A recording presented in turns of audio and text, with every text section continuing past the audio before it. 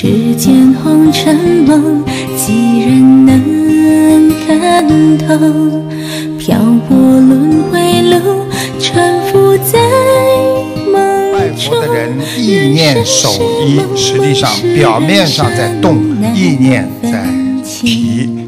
也就是说，守着一，内气要平稳，心中要平稳。所以呢，啊，我刚才说跟打太极拳一样，那么外表在动，内心呢要啊入三昧地，啊三昧。那么很多人呢，因为坐在下面呢，啊，很多人呢对很多佛法的语句呢不是太熟悉，但是里边呢也有很多都是师傅的弟子了，所以我给那些啊刚刚啊学佛不久的人呢，还是要给你们做一个解释，什么叫三昧？很多人以为啊三昧地就经常听佛法里边讲哦，进入三昧地，什么叫三昧地啊？啊，学佛的人知道那是什么呢？叫止息杂念，是把你的自己的杂念要停掉，啊，这个地方很干净的三昧啊，然后呢，心神平静，一个人的心和神都要平静。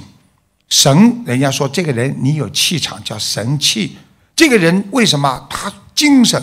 一有精，精是精力；一有神，到脑子里充满的神，所以这个人说：“哟，你看上去很神气嘛，就叫神。”所以精神是这样。那么精神散乱了呢？啊，精神一不集中了呢，那么就叫精神病了。现在知道了吧？所以这个人精神到其他地方去了，就有毛病了。所以很多人，你跟他讲话的时候，哎，我跟你讲呀，讲什么话？他眼睛看其他地方。嗯，那就是精神病了，精神集中在其他地方去了啊，对不对？所以台长跟你们讲，要集中思想，那就叫三昧。三昧，禅定者就是说，集中精力的人，完全可以超脱自我，进入另外一个境界，就是三昧定。所以禅定呢，就是定得下来的人，才能明理，才能知道这个世界的秘密。这个世界什么秘密啊？这个世界菩萨早就告诉我们一个秘密了。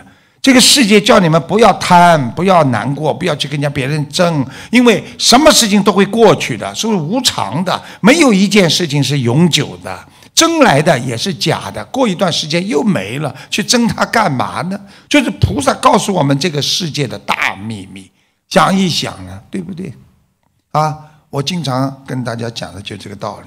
所以人啊，不要把自己内心的悲伤啊啊啊，能够一直永远的藏在心中，要过了就要忘了，所以要忘记啊，说明你内在心里还苦，说明你的内心还没有修好。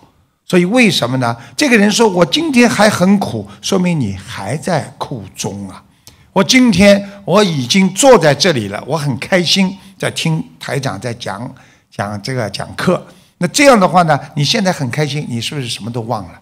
我举个简单例子，你们去旅游，你们一到这个风景一看，哇，这么漂亮啊！这个时候你脑子完全忘记了那些烦恼和苦闷。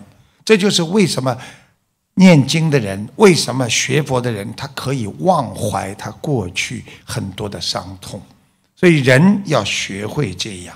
所以心中有佛的人，看别人处处是佛啊！今天台长心中有佛，我看你们个个都像佛，你们很开心，要鼓掌了。我话还没讲完呢，那是还是没有修成佛的未来佛。